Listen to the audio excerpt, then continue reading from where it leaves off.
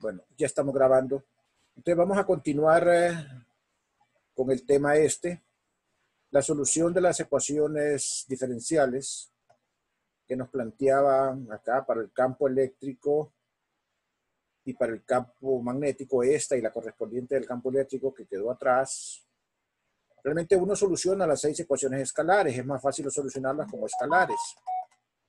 Y la forma de la solución va a depender de muchas cosas. Bueno, depende en primer lugar de cómo se polariza el campo. Eh, una forma de polarizarlo de la manera más fácil es eh, eh, colocar el campo eléctrico en la dirección X y el campo magnético en la dirección Y. No es la única. El campo eléctrico y el campo magnético pueden estar en cualquier plano del espacio, con tres componentes cada uno. Pero una forma de visualizar la solución es esta polarización. A esta polarización se le llama polarización EX, ¿verdad? Que, o sea, el campo magnético va en el campo eléctrico va en la dirección X y el campo eléctrico en la dirección Y. Y entonces se puede probar que estas soluciones que están acá son soluciones de la ecuación de onda. Y este tipo de ondas especiales se le llaman ondas armónicas, porque llevan aquí funciones armónicas como es el coseno, que son funciones trigonométricas. Ustedes pueden ver entonces que acá aparece la dependencia con el tiempo y la dependencia con el espacio. Eh, vamos a suponer que las ondas solamente dependen de la coordenada z, ambas. Y esas ondas, por eso se llaman ondas planas, porque solamente dependen de la coordenada z en este caso. O sea, de la coordenada perpendicular al plano de oscilación. Esto significa que el campo, al haber un coseno acá y un coseno acá, significa que el campo eléctrico y el campo magnético están oscilando en el plano XY entre un valor máximo E0 para el campo eléctrico y un valor máximo E0 para el campo magnético y un valor mínimo que es entonces menos E0 y menos B0 para el campo magnético. Entonces, esta polarización corresponde a la solución más fácil y son ondas armónicas. Si ustedes sustituyen en las dos ecuaciones de onda, van a comprobar que en efecto estas dos que están acá son soluciones de la ecuación de onda.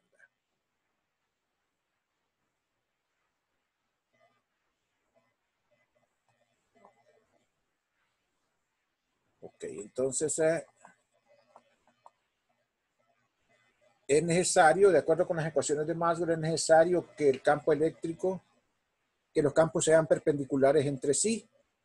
Entonces, eh, eh eso es necesario, por eso es que se dice que las ondas electromagnéticas son transversas, o sea, el campo eléctrico y el campo magnético son perpendiculares entre sí. Lo que ocurre es que la polarización puede ser diferente, puede ir en cualquier dirección del espacio, el campo E y el campo B, y ser perpendiculares. Esta forma es una forma, la forma más simple de visualizarlos, que uno vaya en el eje X y el otro vaya en el eje Y. Eso se le llaman ondas transversas, porque son perpendiculares entre sí. O sea, el campo eléctrico y el campo magnético van a ser perpendiculares entre sí. Aquí tenemos una orientación, el campo eléctrico en el eje X, el campo magnético en el eje Y, y están oscilando, miren, desde un valor máximo es cero, pasando por cero hasta menos, S, hasta menos E0, el campo magnético es de un valor máximo B, B, B, B0 pasando por cero a un valor mínimo menos B0, y entonces pueden ver que la onda se propaga hacia la derecha en la dirección del eje Z. La onda se propaga en la dirección del eje Z. O sea que los campos están oscilando en, una, en un plano perpendicular a la dirección de propagación. Eh, otra cosa importante es que están en fase. Miren el campo eléctrico y el campo magnético, los dos comienzan con un máximo, ¿verdad? En las funciones trigonométricas. Entonces están comenzando con un máximo y por lo tanto están en fase. Esta es la dirección de propagación. Aquí va la velocidad de la luz, que es la velocidad con que se propaga la onda. Imagínense que es una cuerda que se, se propaga en el aire con una velocidad dada, solo que ahora no es una cuerda, sino que son ondas en dos dimensiones las que se van propagando en el espacio con una velocidad de propagación c. Entonces aquí dentro, del, dentro, de la, dentro de los argumentos de la función tenemos acá un, eh, KZ menos WT. Esta es la parte espacial, esta es la parte temporal. A este K que está acá se le llama número de onda. Y esta W que está acá es la famosa frecuencia angular. ¿Verdad? La frecuencia angular que se da en radianes por segundo. Y este es el número de onda, ¿verdad? El que está acá. Es el número de ondas que caben en un, en, en, un ciclo. ¿Verdad? Y eh, este es el, el WT. Pueden ver que aquí aparece KZ menos WT. Si apareciera WT menos KZ, también sería una onda. Y se propagaría la onda en, en dirección de Z positivo. Estas ondas se propagan en dirección de Z positivo. ¿Verdad? Son ondas que se propagan en dirección de Z positivo. De Z positivo. Si ustedes quisieran tener Z negativo, entonces tendrían acá más, entonces, o sea, en los dos, ¿verdad? O sea, más en los dos acá, y entonces la propagación sería en dirección de Z negativo. Esto sería Z negativo. ¿verdad? Estos dos serían Z negativo.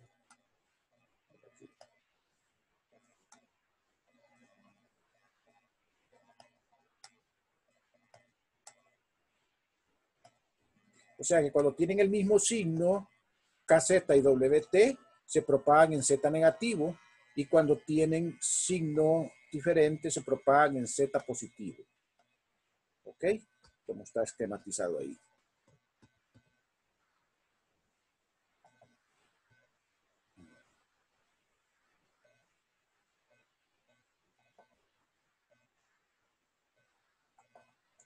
Ok, entonces acá eh, decía yo que es necesario que sean perpendiculares entre sí, ahí viajan en dirección de C. Eh, y una de las propiedades más importantes de la onda electromagnética es la velocidad de propagación, ya que esta representa cómo se está moviendo el frente de ondas en el espacio e indica también la dirección, la, la velocidad con que se transporta la energía de un punto a otro en el espacio. Eso es importante, ¿verdad? En general, la velocidad de propagación va a depender de las propiedades del medio. Ustedes se recuerdan que eh, C cuadrado era 1 sobre epsilon 0 mu sub 0 y epsilon 0 mu sub 0 era la permitividad y la permeabilidad del medio. Entonces, si ustedes tuvieran un medio distinto, entonces tendrían aquí medio dieléctrico, tendrían la permeabilidad y la permitividad del medio dieléctrico. Lo que ocurre es que este es el máximo valor que puede tener la velocidad de propagación. En el vacío es la velocidad más alta a la cual puede propagarse una onda. En cualquier otro medio la velocidad va a ser menor. Como se mencionó anteriormente, las um, ondas electromagnéticas transportan energía. Y una medida de el transporte de energía que tienen esas ondas es el conocido vector de Poynting. El vector de Poynting, que se escribe con la letra S, se representa por eh, se representa por la fórmula 1 sobre epsilon 0 e cruz b y como pueden ver ustedes entonces si está en el eje Y y, y B está en el eje Z, que no es el caso que escribimos nosotros allá en la solución, S iría en el eje X, siguiendo el producto E cruz B. esa representación no corresponde a las soluciones que escribimos nosotros allá, donde estaba polarizado EX y BY, y la onda se propagaba en Z. En este caso, la polarización es E en Y, B en Z, y la propagación es entonces en X, En esa figura que está ahí. Entonces, solo se las ponen aquí diferentes, porque acá, digamos, es una polarización de esta manera. Si nosotros regresamos acá, y les voy a mostrar acá, aquí el vector S vendría en esta dirección, en dirección, en dirección Z, ¿verdad? Porque sería E cruz B, ¿verdad? Sería E cruz B. Si hacen E cruz B acá, ustedes pueden ver entonces que es un tornillo que afloja, o sea que viene para acá. Entonces, la dirección de propagación es la, la dirección en que se transporta la energía y es la dirección de E cruz B y a la magnitud se le llama vector de Poynting. Ese vector de Poynting que está acá, si ustedes lo analizan dimensionalmente, van a encontrar que ese vector de Poynting tiene unidades de energía entre tiempo por área. O sea, energía entre tiempo es potencia. Entonces las, las unidades son watts sobre metro cuadrado. Entonces realmente es la cantidad de energía que está llegando a una superficie por unidad de tiempo por metro cuadrado de esa superficie.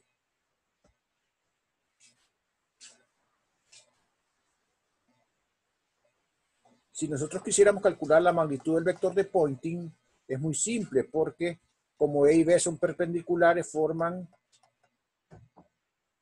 forman, eh, forman 90 grados y el seno de 90 es, es 1.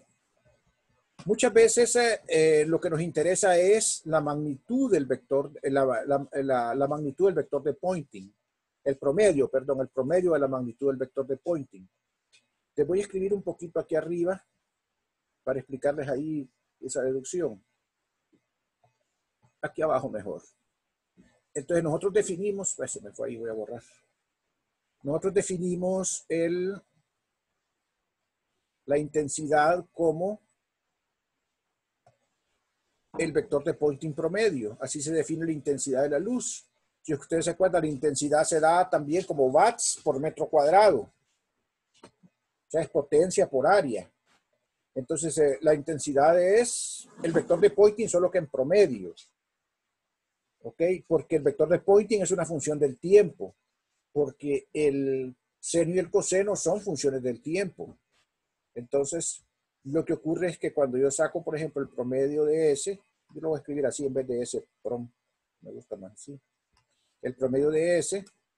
Entonces ustedes tienen acá, eso es 1 sobre mu sub 0, que es constante,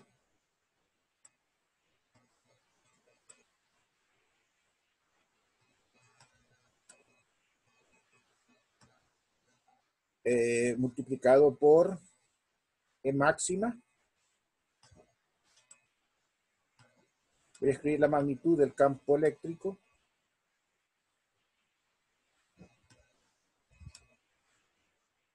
Como E máxima es una constante porque es la amplitud, no la, no la promedio. Lo que sí voy a promediar es la función. Y la función es coseno. No voy a escribir el argumento. Es coseno de WT menos T. Solo le estoy explicando cómo sale esa, esa fórmula. Es coseno del argumento. Solo lo voy a dejar así abierto para que miren. Es coseno del argumento.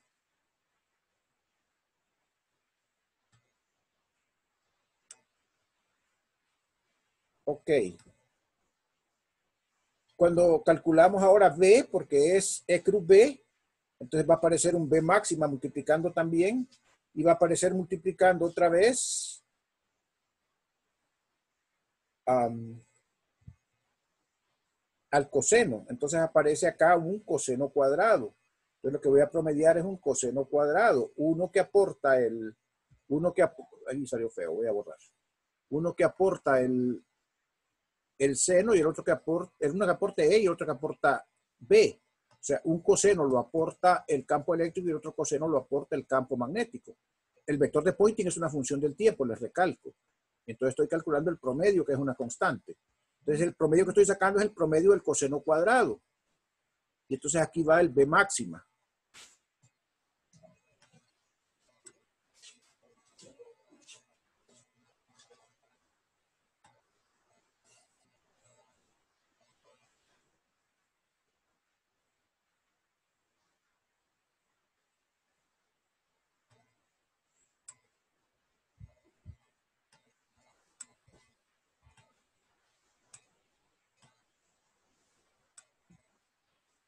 Entonces, el promedio del coseno cuadrado, ustedes saben que es un medio. Si ustedes hacen la integral sobre un periodo, de la función coseno cuadrado, teorema fundamental del cálculo integral, les dicen que el promedio de esa función es un medio.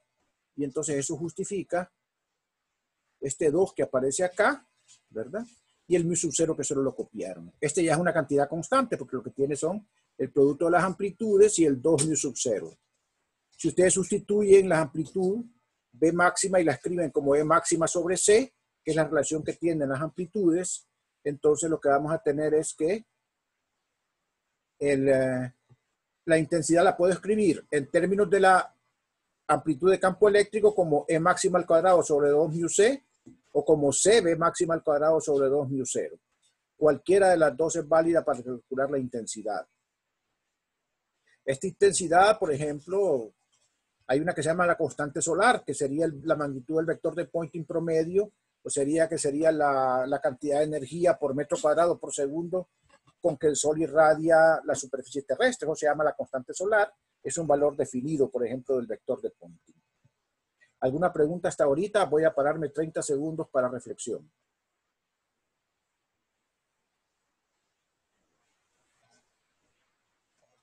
Eh, quiero preguntar, ¿está claro sobre el promedio, verdad? Acuérdense que tienen que sustituir los valores temporales. E es E máxima, coseno WT menos KX, y B es B máxima coseno WT menos KX.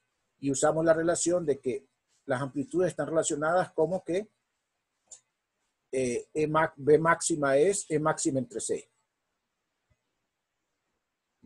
Voy a apuntar eso acá si quieren. E máxima. Eso viene de las ecuaciones de Maxwell. Esta relación es importante. E máxima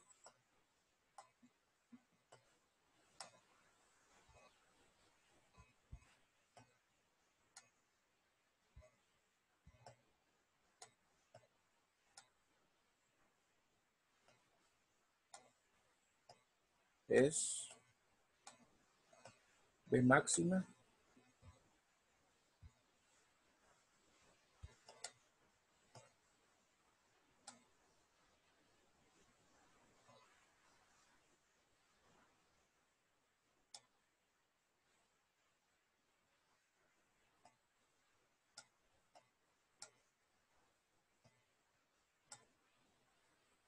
entre C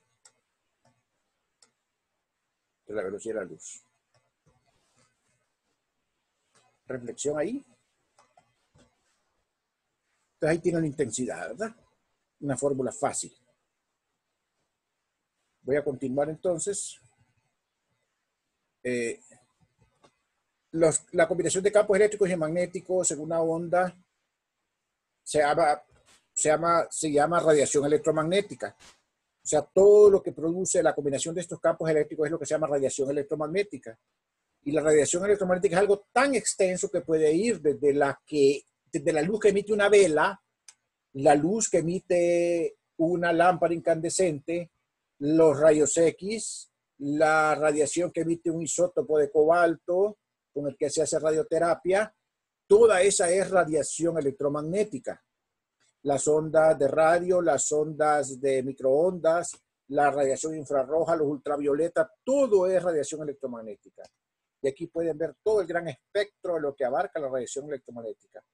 Desde las de más baja frecuencia, que son la radio, las ondas de radio, pasando por las microondas, por el infrarrojo, llegando a la ultravioleta, a los rayos X, a los rayos gamma. Izquierda a derecha aumenta la frecuencia y aumenta la energía de la, de la radiación y disminuye la longitud de onda. Mientras más frecuencia tiene la radiación, menos longitud de onda y más energía. Y si vamos hacia la derecha, más frecuencia, más energía y menos longitud de onda. Lo que nosotros alcanzamos a ver aquí en el arco iris es el espectro visible, ¿verdad? Que va desde el rojo hasta el violeta. Pero miren que existe más allá más a la derecha y más a la izquierda, un montón de tipos de radiaciones electromagnéticas que nosotros no las podemos ver por nuestros propios, eh, por nuestros propios sentidos, por nuestros propios ojos.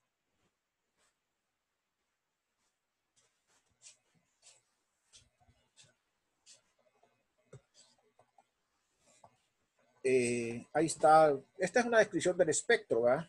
Para que tengan una idea ustedes de las ondas de radio, que son las de que tienen una longitud de onda más grande y una frecuencia mayor, ¿verdad? De ahí van las microondas que tienen ya una longitud de onda menor, el infrarrojo cada vez menor, la luz visible, menor longitud de onda, la luz ultravioleta, la rayos X, los rayos gamma. Esa es la longitud de onda, va en disminución de izquierda a derecha del espectro, pero la frecuencia va a ir en aumento.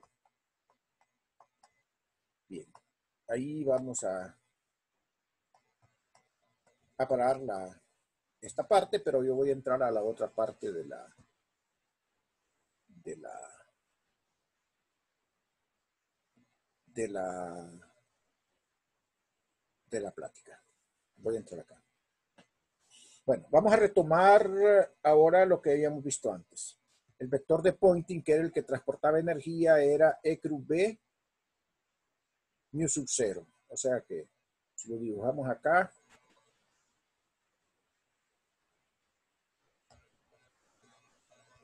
entonces aquí tenemos E, aquí tenemos B,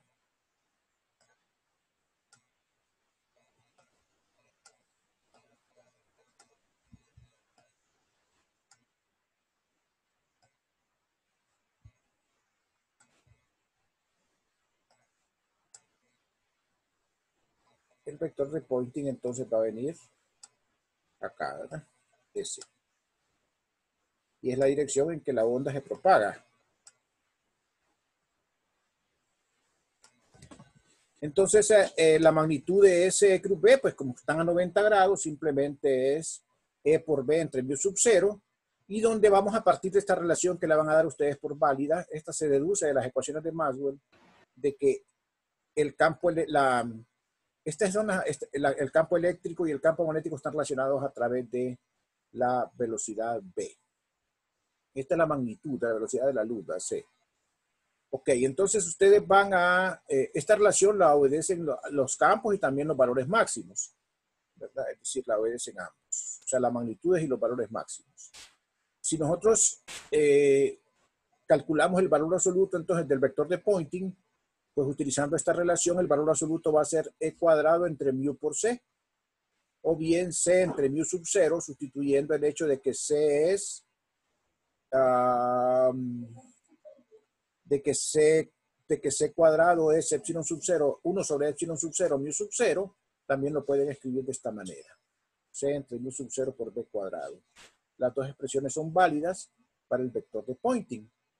Y se acuerdan ustedes que la intensidad entonces era la magnitud de C, y aquí sí les explico en detalle lo que en la página anterior se lo escribí así a mano, escribiendo S como E máxima coseno cuadrado KX menos WT, ¿verdad? Que S cuadrado acá sobre mu por C, saco el E máximo al cuadrado que es constante, el mu por C también y el promedio del coseno cuadrado es un medio. Y entonces me queda eh, esta expresión que está acá para la intensidad. A máxima al cuadrado sobre 2 mu c o B máxima al cuadrado sobre 2 mu sub 0. Las dos expresiones son válidas, creo que ya habíamos deducido eso. Me está pidiendo tiempo, pero yo le voy a pedir que nos incorporemos inmediatamente para dejar este tema cubierto. Ok, esa es la intensidad. ¿Qué es intensidad? Energía por unidad de área por unidad de tiempo. La intensidad no es el vector de Poynting, es el promedio del vector de Poynting. La, densidad de energía electromagnética, o sea, la cantidad de joule por metro cúbico que se almacena en el campo, se define como, en el caso de la densidad de energía eléctrica, se define como un medio de E sub 0 E cuadrado. Y en el caso de energía magnética se define como 1 sobre 2 mu sub 0 B cuadrado es la definición de las densidades de energía. Si ustedes sustituyen acá a la B cuadrado, como E sobre C, le va a quedar E cuadrado sobre C cuadrado. Y entonces, eh, eh, al sustituir el valor de C cuadrado, que es epsilon sub 0, mu sub 0 acá, acuérdense, ¿verdad? C cuadrado es igual a 1 sobre epsilon 0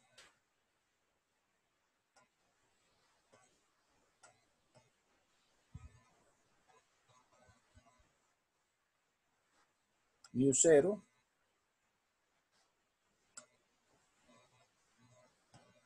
Entonces, al sustituirlo acá, ustedes tienen esta expresión y pueden ver que el mu sub 0 se cancela y entonces queda simplemente un medio de epsilon sub 0 e cuadrado para la densidad de energía magnética.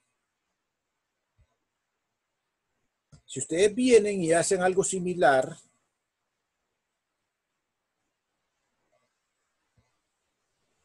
van a encontrar que la, van a encontrar que la, bueno, esta era la magnética, quiere decir que es igual a la eléctrica. Entonces la magnética es igual a la eléctrica, pero esa es densidad, estos son joule por metro cúbico. La densidad de energía electromagnética total entonces es la suma de las dos. Si ustedes suman la eléctrica con la magnética, que son iguales, entonces el 2 desaparece y les queda epsilon sub 0 e cuadrado o bien b cuadrado sobre mu sub 0. Y esa es la densidad de energía total.